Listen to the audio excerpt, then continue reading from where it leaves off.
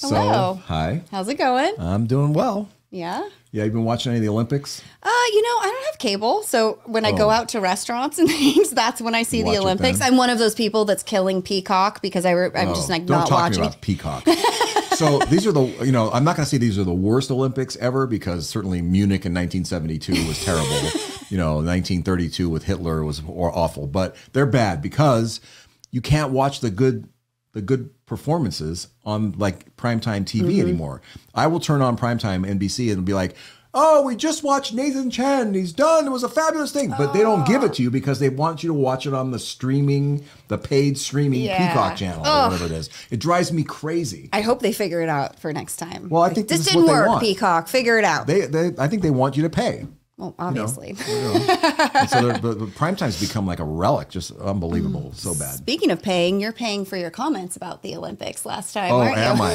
Oh my gosh! So if you weren't on the last podcast, I I, I was kind of mocking uh, curling, you know, and saying basically anybody that had a broom or a, or a mop could actually be a good cur, you know curler. And I got some feedback from people that were watching this thing, like we need to have a conversation about curling.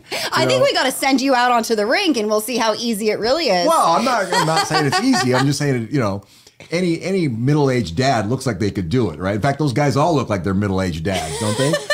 so I just don't feel like it's that big of a you know like a as an Olympic sport. I know I'm going to get more hate mail from my friends, but you know it, it's So just funny. I, I I don't get into it. You're you don't Needless like watching it, but and this is so wonderful, right? This is what makes the world go around. Everybody has their preferences and what they think is fun, you know, athletic and and, and entertaining to watch. Yeah, I think yeah. it's hilarious. I mean, some of the sports are just kind of crazy. yeah, you know, so, yeah. I did get to watch some downhill skiing last night. Yeah, those are last night, great. which was really the awesome. moguls. You Yeah. know, I know I have met Jonny Moseley, and you know the, to see the, You met Jonny Moseley? Yeah. Oh my gosh, yeah. what was he like? He's wonderful, just Really? kind and wonderful, and you know, friendly, outgoing, great, That's great guy. Yeah, just like you would hope. Yeah. Right. Very, very. Oh, how cool. Yeah, yeah. Um, anyway, so welcome to a place of possibility. We're happy to have you here. I'm Richard Del Monte, I'm Angela Wright. and today, what are we talking about? We are talking about how to have a conversation with your spouse slash partner about dun, dun, dun, money. and those conversations really, as Angela's going to, I'm going to be interviewing Angela, um, are really ideally done from any time from dating all the way through, like if you're engaged, all the way through if you've been married for 30 years. Yeah. Right? They're really important This is for everybody. Yeah. And I, a lot of people don't even have them because they're they're afraid to do it. They don't know how to start them. They don't want to broach the subject. They don't want to rock the boat. So hopefully you are going to shed some light on that today. I am. Yes, you are. Yes. We even did an episode, uh, episode 14, on if you already find yourself in conflict with your partner, go watch that first and then come back and, and watch this. And it's all about how to get through some of that conflict and have this conversation in a great way. You don't want to bring boxing gloves to this meeting. This this this uh, this conversation is not Yeah. good. So we're gonna make some. We're gonna give you some tips today on how to make these conversations productive, how to have an agenda for the conversation so you stay on track, and we're gonna give you some questions that you should think about that you could ask each other. Yeah. Yep. And we've seen couples that have done this really, really well, and other people who have floundered, and other people who have really crashed into the rocks and not done it done it very well. We're going to share some stories about that. Yeah. And so this this guy, the guy that, w- that we're going to be talking about, Angela has written, is, is on our blog, and it will also be in the show notes from this. So you make sure you get that because you won't be able to get everything just from this conversation that you need Yeah. for sure. Yeah. Yeah. And you know, talking about money early and having ongoing conversations can actually be a bonding experience for a couple rather than something that sure. tears them apart. And you know, it's never too late to get started if you missed the memo on talk early about this. And Yep. in fact, I encourage you to continue this conversation at least annually. So if you've been married for 30 years, you know, talk to your partner and then keep talking to your partner. Eventually, you may want to bring your children into family money meetings. Some people would do like annual family councils or family summit meetings. And you just be really surprised what you learn about yourself and your family and your financial situation when you talk about all of this regularly. Yep. And you don't have to agree with your spouse or your partner on every aspect of this. But what's really important is you have to understand each other's perspectives and where you come from. That that's kind of the, the opportunity to be able to come up with a, a compromise situation that works and to draw you. If you did this is done right, you can be drawn so much closer, right, to each other. Oh, totally. tremendously closer. Yeah. Yeah. Yeah, it, it's actually wonderful. So, um, so I'm Angela's going to be the uh, the person I'll be interviewing today primarily, and she has a wealth of information about this. You will not believe what she how how prepared she is and how much she understands about this. And you know, it's funny because her her background is.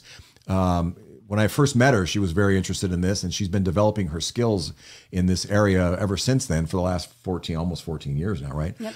Um, and she has, she was one of, she was the second, Third.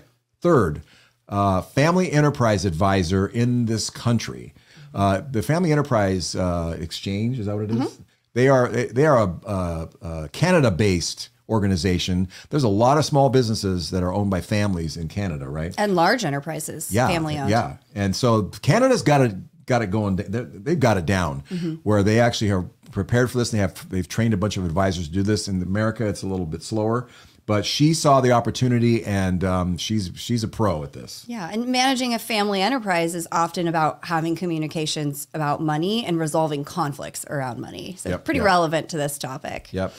So uh, besides your FEA, how did you get to be? What brought you to this, and how did you develop your expertise? Yeah, personal experience and pain. so you know, getting a little vulnerable. You know, it, early on uh, in my marriage, this was an issue, and it was something that you know we we came to blows about often. And I wanted to figure out how to make this work and have harmony around finances in the marriage. Um, Sure. So I started studying it and interviewing people, and you know, I think between the two of us, we've probably worked with hundreds of couples and families on this conversation, um, and you know, many many hours in our own therapy offices with our spouses and I have learning no comment about that. learning about how to do it really really well. Yeah, we could actually have our own MFP for the amount of money we we spent on that on, on psychotherapy right over the years. Yeah, no kidding. Yep, yep, yep. So let's start off with how do how do couples, you know, get started having one of these conversations? They seem a little odd, you know. Like let's sit down and talk about money. Yeah. You know, Well- it's like not not you know the, the kind of thing you might normally want to do. So how do you get started? Yeah, and oftentimes your parents taught you not to talk about money. Mm. It's rude, right? So, yeah. So, the first, I want you to think about creating a container and a foundation for having this conversation. So, set and setting. So, set is, you know, your mindset, and the setting is where we actually are. So, you want to find a time where you can be free of distractions. And that means, you know, kids are at, at school or in bed, pets are occupied, your phones are off, and you're just really focused on each other. Um, and some couples even set a time, uh, like a specific time to do this. So we have one family that does Money Day. Uh, and I just I think this is so cute. So it's the 22nd of every month they have Money Day, and they sit down for about an hour. They pay their bills, they review the budget, um, they they manage their finances separately, so they settle up with each other, and it works really well for them. And they just everyone knows the 22nd is Money Day. It's so smart It really do that, you know. It's so forward thinking. That's great. Well, one of the things is that it gives them an opportunity to um, have this conversation without a- approaching each other on the fly, right? Like, hey, I noticed you spent a hundred bucks on shoes. that can be really, that can be, um, you know, confrontational, right? But instead, it's like this is the time we talk about money because the reality is in our society we need it to, you know, live, and it's just it's something we have to do, right? sure, sure. So, oh yeah, Yeah. So I was gonna. What kind of questions are we talking that you should be discussing in these in these? Yeah, well, let me say so. I so set and setting. Couple more things here. So have some supplies available. I highly encourage you to have snacks and beverages and Kleenex, Wine. Wine. No, save the booze for after, or maybe not. You know, do your thing. Um, pen and paper, and have your computers or however you manage your finances available, and then commit to each other in terms of this is about learning about each other's uh, ways of being with money, hopes and dreams and desires. And I want to remind everybody that there is no right or wrong way to do money. There's only personal preference. So try to reserve judgment of your partner if they do things differently than you. That's really hard, especially when you believe that your way is right. As we gonna do often do, of right? course. We all have an ego. So open your mind and your heart, and perhaps there's something for you to learn. Yep. Okay. So the grist of it. Uh, what kind of questions are we talking? Yeah. Okay. So we're going to start with an icebreaker. We'll just like ease you into this conversation. So, what Good lessons did you learn about money from your parents? So, this gets at the foundation that we all have inside of us and the money values that were given to us. And I want to remind everybody that they were given to you, right? And so, if they didn't serve you well or they've created some bad habits, don't judge your partner for that, right? They didn't choose that. Um, and you can ask, what specifically did your parents teach you that helped? Uh, and in what ways maybe did they fail you around money? Right. And, you know, you have just all sorts of stuff that we bring from our childhoods around money. So this is like, setting a foundation with each other. Where did my partner come from regarding money? really great question you can ask is what does the word money conjure up for you? Um, like maybe like what one word does does money conjure or up? feelings. Some people just have feelings from it, Yeah, right? totally. So like once we asked the client this and she said food, which I mm. thought was really interesting. And she went on to tell a story that, you know, when she was young, they were very poor. She had an alcoholic mother and the food stamps would run out every month. And so there was never enough food. She got a job at 11 years old to help make ends meet. And her whole life, she never spent a dime on anything other than basic necessities. By the time she came to us, she had enough money to spend more and she still wouldn't do it. And so we for years we worked with her on this. And you know, huge victory. One day she called and said, I'm outside with a new car. Please come outside. And it was a Mercedes. And we were so excited for her. It was just, you know, she had really shifted some of the poor habits that she had around money. Interesting. Other people have said what?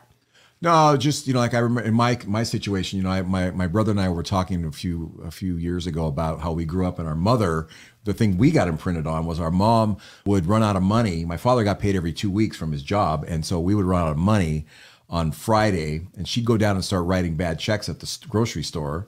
You know, and then when he got paid on Tuesday, she would grab that paycheck and run to the bank and deposit that bank uh, you know that that check, you know, and it was because so she that was you know that was kind of her mo. Always short, always short, and um, and you know robbing Peter to pay Paul. Yeah. So that was a very strong imprint for us that we had to overcome. I'll say, I wonder why you became a financial advisor. I know, right? Yeah, yeah, for totally. Sure. I'm sure it had a it had an impact. But this is all we we bring this to our to our relationships, right? And we we it's just our we're just it's our baggage, part of our Yeah. baggage that we bring. I often hear things like um, freedom, reward, burden, security, control is a big Control. one. Yeah. So, you know, just conjure up a word and then talk about how did this come up for yep, you? And so you're learning about your partner's history and values around money. And it's a really wonderful way to set the stage for this conversation. Good, good.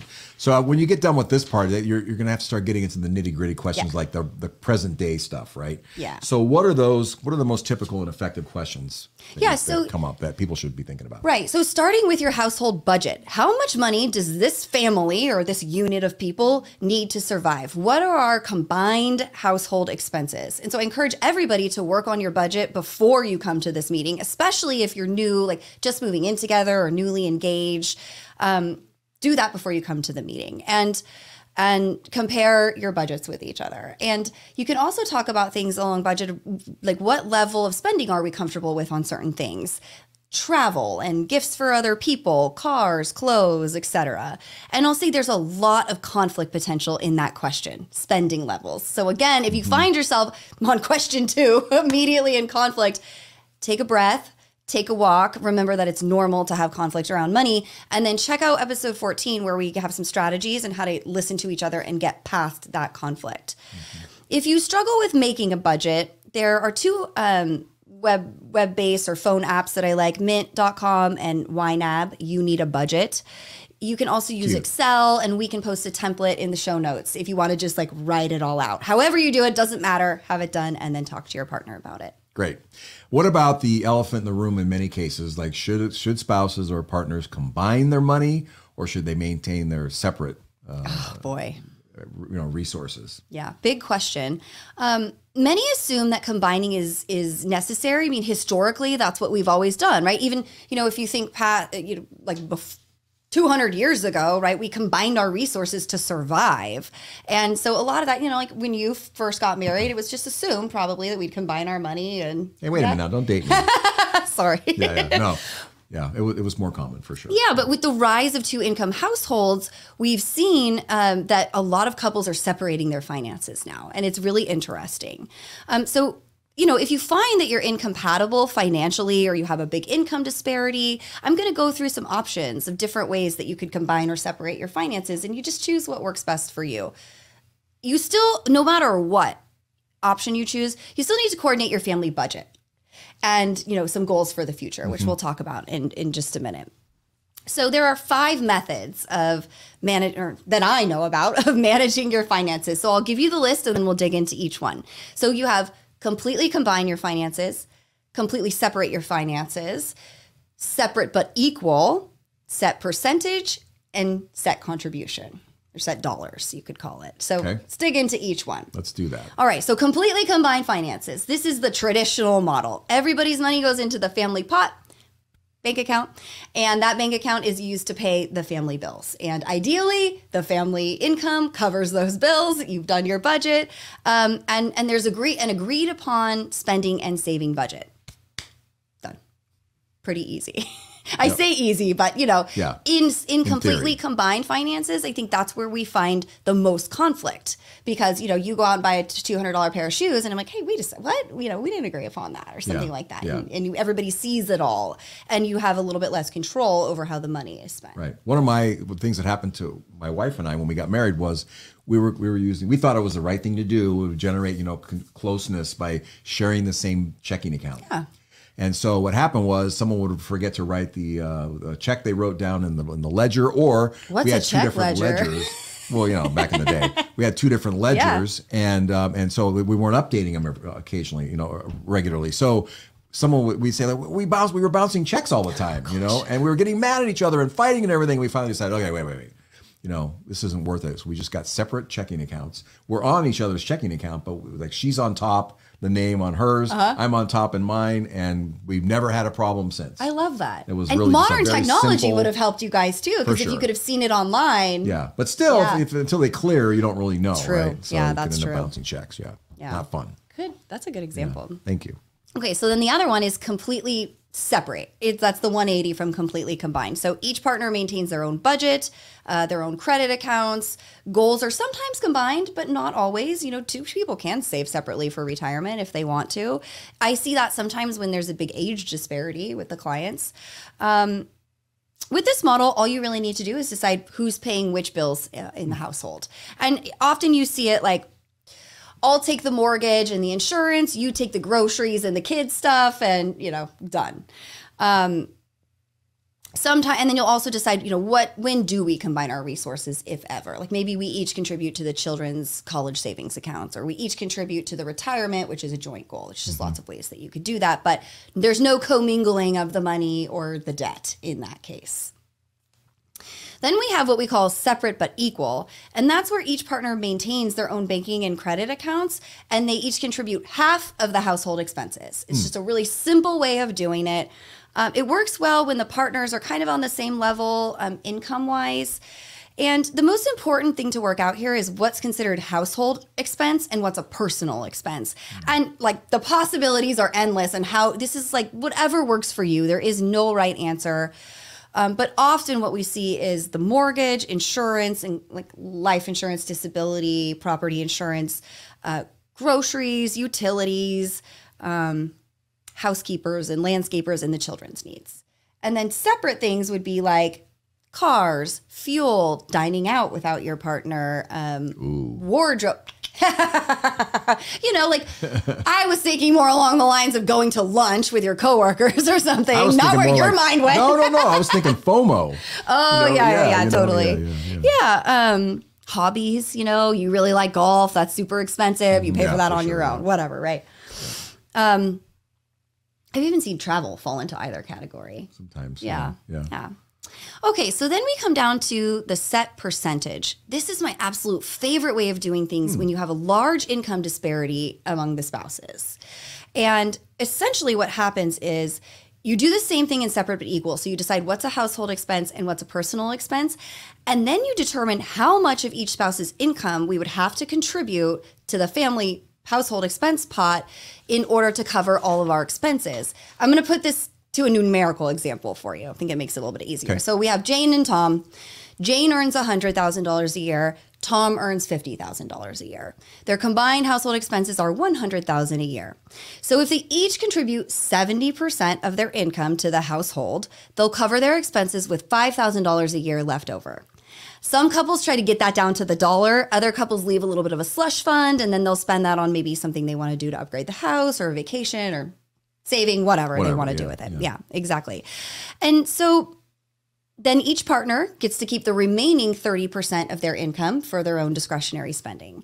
And what I love about this is that it feels really fair because you get the same percentage of your income, you know, snagged away from you into the family pot. And what I also love about this one is that as each person's incomes go up, the family budget can increase. There are more resources available to the family, but one person isn't stuck, you know, contributing more of their income. This works really well for people who are raised to believe that um, like equal is fair. uh, like my sister and I were raised that way. Yeah. So, so I really love that one. I could see where you could also have a kind of a hybrid of that, where every, each spouse ends up having five thousand dollars a year left over, right? No matter how much. So, so for discretionary spending, Yeah. You just kind of level it out. Yeah. right? Well, that's so that's the Yeah. set dollar method basically. So instead okay. of taking a percentage of your income, you figure out how many dollars of each person's income that you have to contribute. I see, okay. And then Yeah, yeah. everything else is left over. And so in that way, um, the family resources don't increase as you get raises. You're still contributing, you know, let's say your 50,000 to Jane in this case is contributing her uh, 70,000 into the family pot. And then as Jane's income increases, that's for her to keep. got it. And again, Okay. you know, there's a lot of values in here. Like you might be hearing this and going, "Oh, that's Right. terrible." Yeah, yeah, Jane yeah. sounds like a, you know, she's stingy. again, it's like whatever works for you, right? And some people just feel like the control thing about their money. Um, or maybe their spouse is, spends more freely. We'll talk about that in a second. And so Jane might be saying, "Well, Tom spends really freely. I'm not going to let him, you know, Yep. spend Yep. all of our money." Right. Um, Fritter it away. Yeah, exactly. And so you know, you just figure out what works for you. work. Okay. Yeah, exactly. So what about debt and credit? I mean, some people come into marriages with tremendous student loan Especially debt, today. you know, or other kinds of debts. Um, and some also come in with like hampered credit, right? They're, Yeah. They've got a broken wing when it comes to that. They've had trouble managing their credit. So what, what how does that work? Yeah. So this one is, you know, the seems- Mm-hmm. cause of a lot of marital fights. It's the cause of a lot of judgment in relationships as well. Um, and so, look, the long and short of it is, you are where you are, and we're not going to judge our partner for what they've done in the past. So you're going to. I'm telling you not to. Stop doing that, please. so you know you're going to look at each other's credit scores and credit history, like go go online and print it out and discuss what went on and how much credit you have available to you. What is your what is your score? And do you have a history of missed payments and do we differ in our ideas about acquiring debt? That's a really important thing for people to talk about right?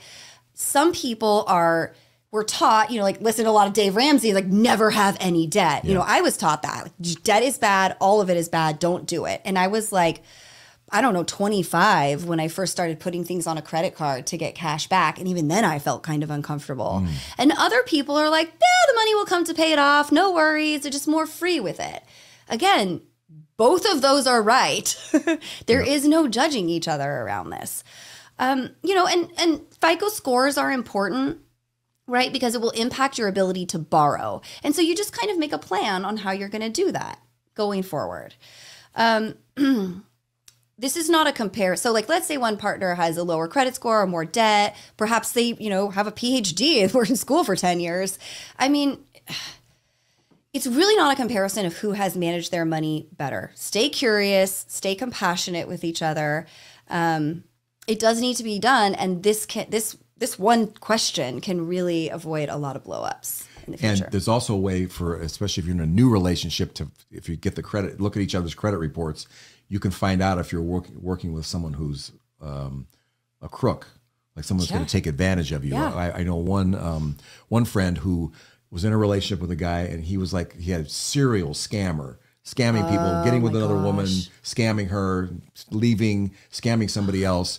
And had she known that, all the, if he would have had all these debts on his credit report and everything, she could have saved herself a lot of heartache. yeah. So that's it's really good. And if they say no, I'm not sharing with you. Bye. Oh yeah. You know, yeah. I, mean, think. there's only so much you can tolerate, right?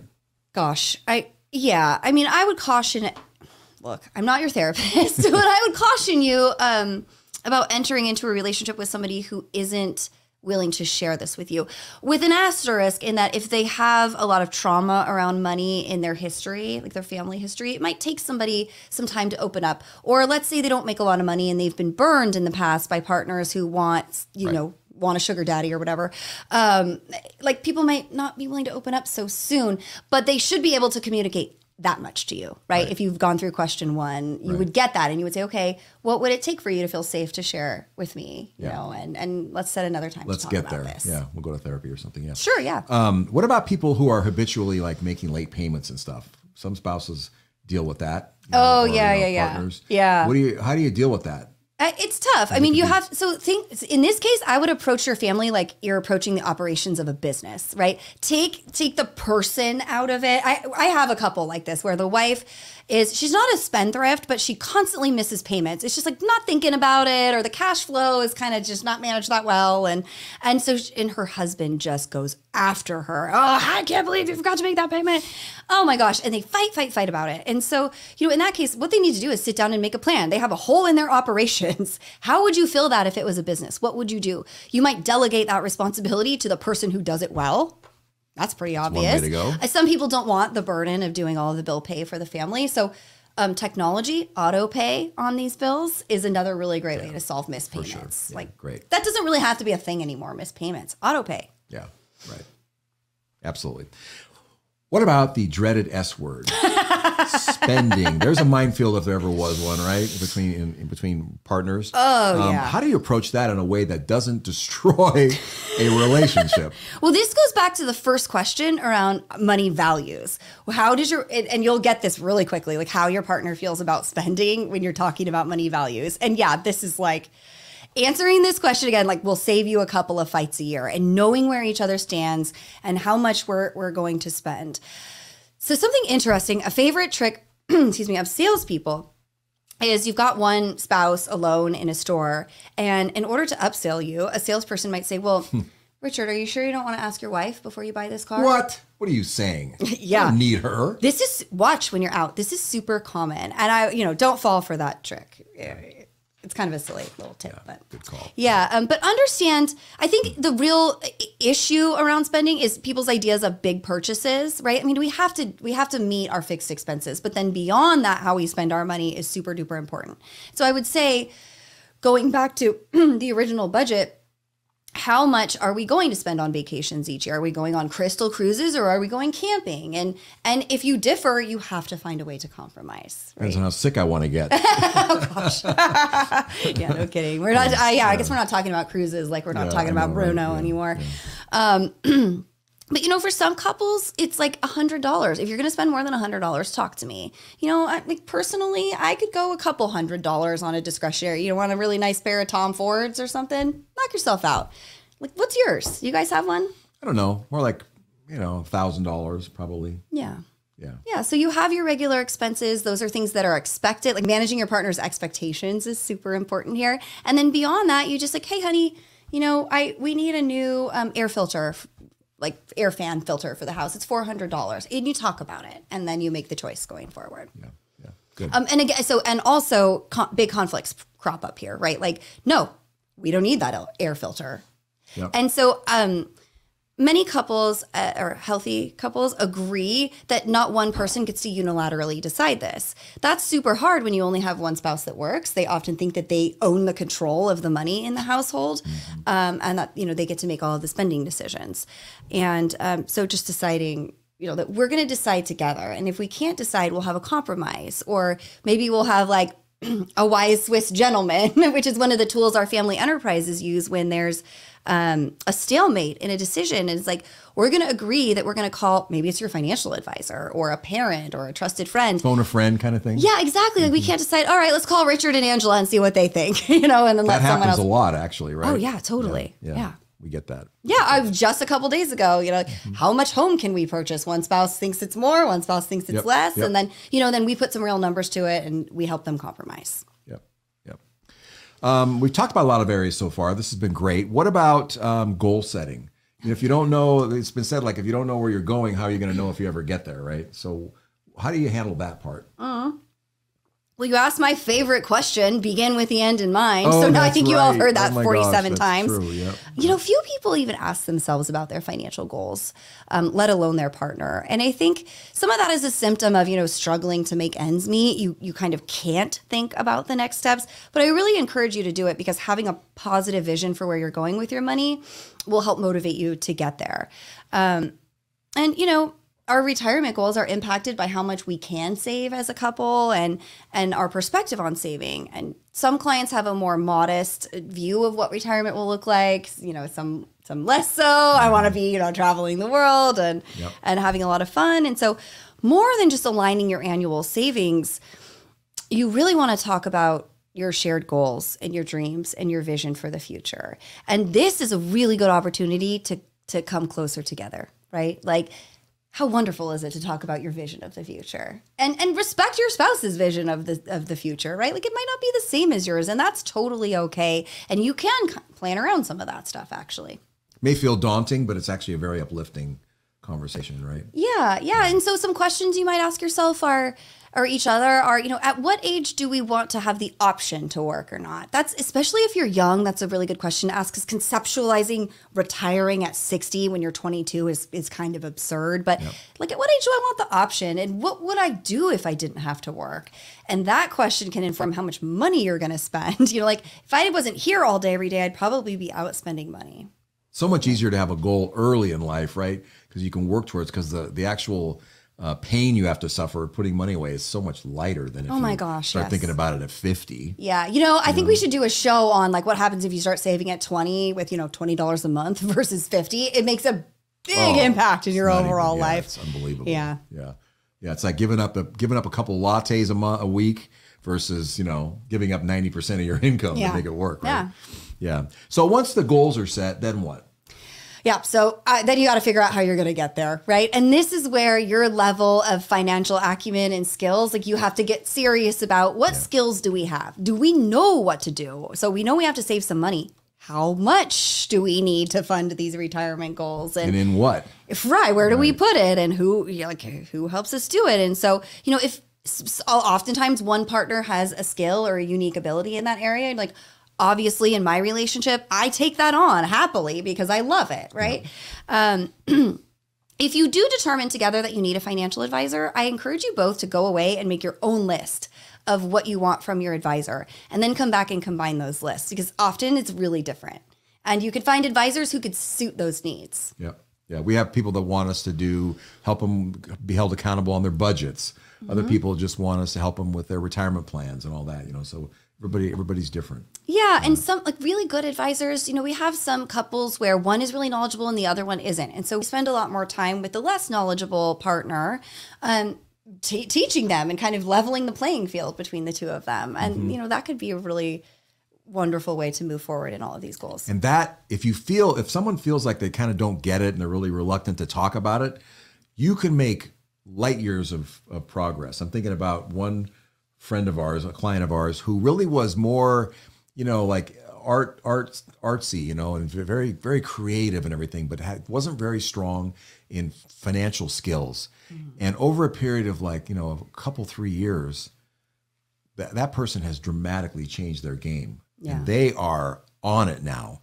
And they have savings accounts and they have their, you know, they're controlling their spending and they have made a shift that I, I you would never even believe that it was the same person. It's amazing. So it's really possible if you feel like you're, uh, you know, kind of uh, on the short end of the stick with that, don't give up. You just have to work at it. Or if you're those spouses that are really struggling, like my, my spouse is a spendthrift, I can't get her on board or him on board. Get you know, a financial advisor, a third party can can help. You know, like I, it, you know, a, fr- another couple, you know, married couple friends. We, the wife and I, didn't know how to drive a stick, and but what we decided is that we were not going to learn how to drive a stick from our own husbands because that sounded like an argument waiting to happen.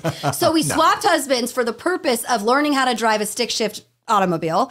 And and it was really wonderful because her husband was super patient with me and i listened to him. Whereas Yeah. you know i would have told my spouse to shut the heck up.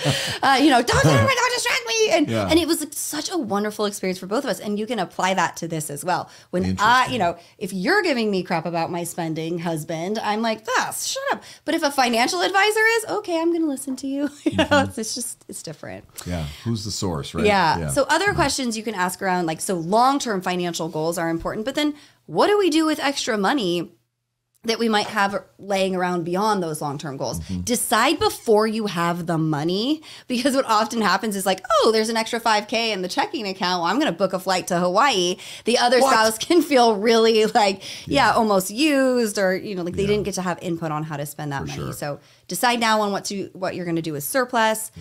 Um, you can also talk about, you know, will we be saving and investing for these goals separately or together? Um, and, you know, that's kind of combined, like how you're going to do your money with your household will inform that generally. Yeah. Yeah.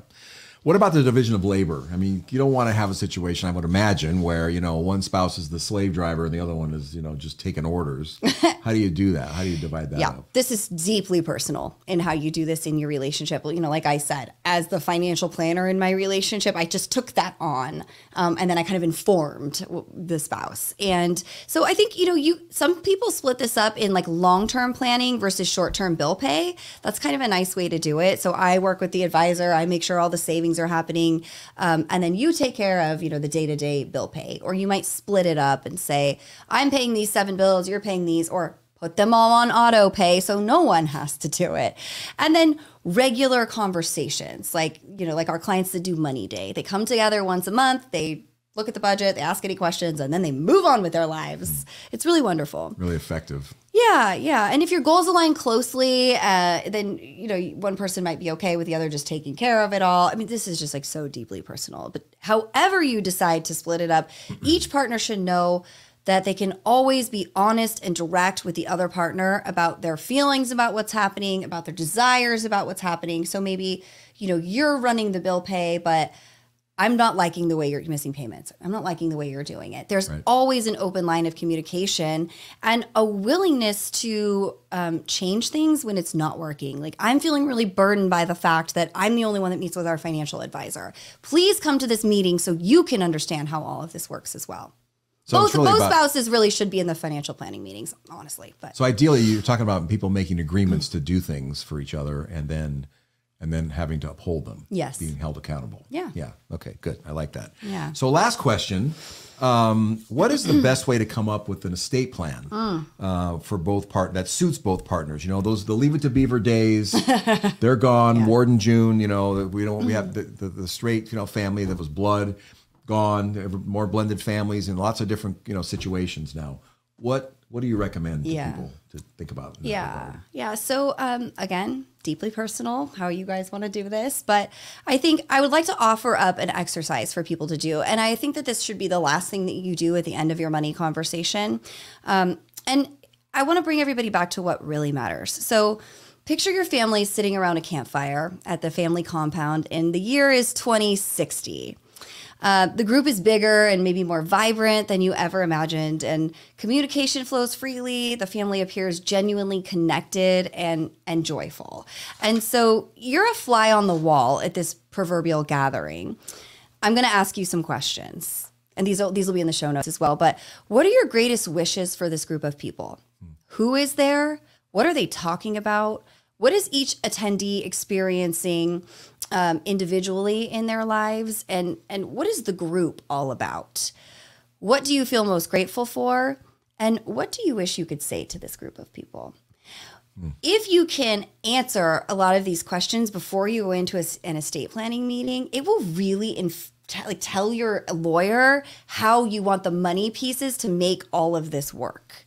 Um, and and then you share that with your spouse. I mean, what a beautiful exercise to sit Really around together and talk about like you know these two kids that we created, or in your case, these five kids that we created, and you know the kids they create and the ones they create, and what are they all doing? Like, what does all of this mean? What is the purpose of what we're sitting around here doing? Love you it. take that to your lawyer, and certainly engage a lawyer for your estate planning. Um, and go from there.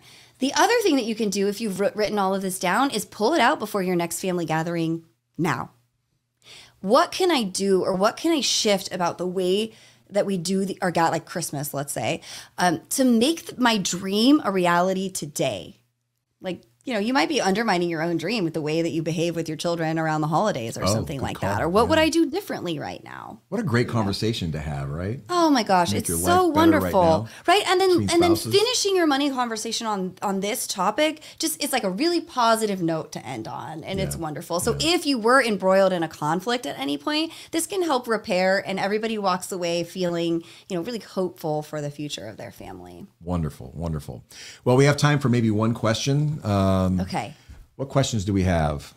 Uh, let me see. Uh, okay, so there's a question about do I need a prenup? Are they good ideas? Oh my gosh, a prenup. Yeah. We that's another whole that's another whole podcast, right? But Boy, yeah, I mean, it a little bit, fraught with, briefly. yeah. So, um, this is where, you know, your money values and your own personal feelings about yourself and your partner really can collide. We often find parents pushing children, parents of wealthy families will push children um, to get the prenup. And then people have all of these, you know, notions about what it means. My spouse doesn't love me or they're, you know, they're Trust me. yeah, or they're beginning, um, you know, assuming that we're going to fail. And I think that you can look at these conversations a little bit differently, right? Modern society, like you play the game in which in the society that you live in. This is Be something that we- yeah, this is something that we right. do. Prenups can also be used to manage things like debt. So if you are really worried about your spouse's debt, uh, like they're coming into the marriage with a lot, you can write that into the prenup, and that could be the only thing that goes in the prenup. Like it doesn't have to be you're never getting any alimony from me, or whatever. All my assets are mine. Uh, I say that like it's wrong. If that's how you feel, that's no judgment, right? Um, but they can be. Um, it's again kind of beginning with the end in mind. It's not the ending that you want to have, but you could think through if we get to the point where we have to pull the ripcord on this marriage, what do we want that to look like? Why don't we talk about that while we're getting along? Right? Right. And I think that um, a lot of times these things get, unfortunately, they get shoved down spouses' throats. Uh. like the, you know, right before you're getting married, like, by the way, you have to sign this. Like, what? You're pulling this out, you know, at the last, at the 11th hour. really common. It's really hard, you know, but, but there are, like you said, there's really valid reasons for doing it. And if, if people can understand and hear each other, it can be a lot different experience. I, we, we know of one uh, spouse who had the, had a prenup shoved down their throat, mm-hmm. and for the next 30 years, they resented it and they used every opportunity they could find to shove it in the rest of the family's face the parents the in-laws you know everybody uh, the spouse the Yeah. Uh, you know and it just becomes it's it could have been done so much more intelligently and emotionally with you know high EQ so that it was ac- it mm-hmm. actually was something constructive Yeah, and I mean, in that case, they pushed it down her throat at the last minute. But then also, you know, she made a choice to continue to resent throughout the marriage. And so, if you find yourself in that position, reconsider whether or not you want to marry into that family and probably seek counseling Yeah, at that point for for, sure. yourself. For Good sure. question. Yeah, that's a tough one. Yeah, yeah. Okay, well, that wraps it up for today. Thank you. It was a really good conversation. Thank you. It's really fun to talk about this. Will. Have people really get a lot out of this, and don't forget we have this in our in our show notes, and it's on our website and our blog. Um, and make sure you grab that. And um, we have our free book offer that we still are offering. If you love that that last part about the family conversation and you know the campfire in in uh, 40 years, um, this book will help you get there. Yeah. You know, There's a lot more like that in this book as well if you want to think about your family in that way. So let us know. Send, a, send an email to info at, at placeofpossibility.com and we will send you a free book. Um, also, if you'd like a 30 minute, a free 30 minute con- consultation with either, either Angela or I or both of us, you can also get that through our website. Which we have a calendar. You can make appointments for yourself.